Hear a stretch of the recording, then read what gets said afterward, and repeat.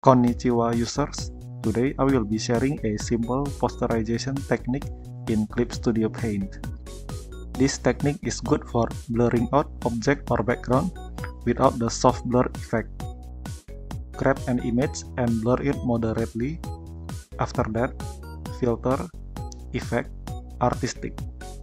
Select color only process. Set color blending and color blur to 100. The important setting to tweak here is the amount of color. Tweak it until it feels right. To finish it, adjust its saturation or contrast to make it blend with user's other project.